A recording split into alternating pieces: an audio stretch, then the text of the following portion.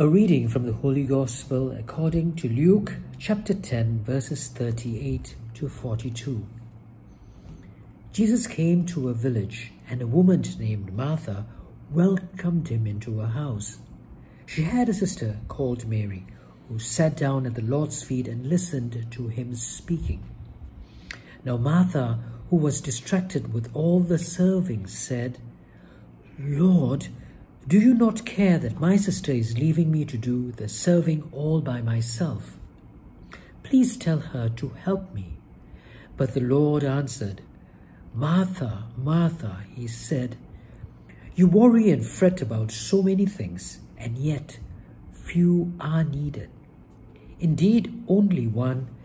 It is Mary who has chosen the better part.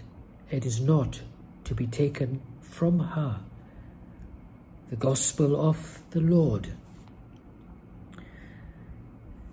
I just came back from office and it reminds me, this passage reminds me of the kind of feeling I have when as a director, I do so many things myself.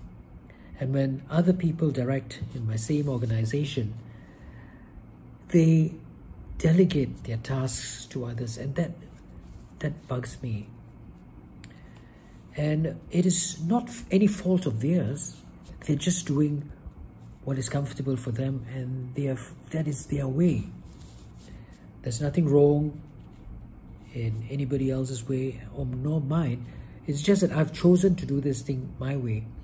And if somebody else does not follow my standard, then there should not there, there is no necessity for me to be upset about them because there is no standard to speak of. There is no acceptable ways of doing anything. And I think many of us feel this way, especially those of us who are who are very rigid. I, I consider myself to be rigid, who are very rigid in certain ways, and they think that, like me, think that this is the way it should be done. And other people, they get, I get very worked up when I see other people getting away with a lot because they have the gift of the gab. They know how to get around things. But this passage, I think, addresses that. It addresses the fact that if you want to go ahead, you want to give more, or you want to do your part, and you, you, you think that this is your calling or this is what it needs to be done,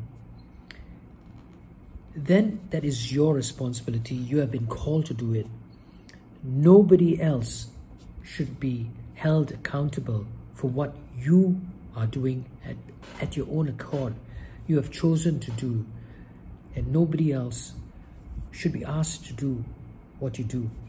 And I think the reward comes when you do it without expecting others to do the same. That's when I think God really rewards you, and that's when your hard work will be recognized because you're not craving for it. The moment you crave for other people to recognize and to see that you're doing the hard work, I think you will you will lose any rewards that may otherwise have come to you.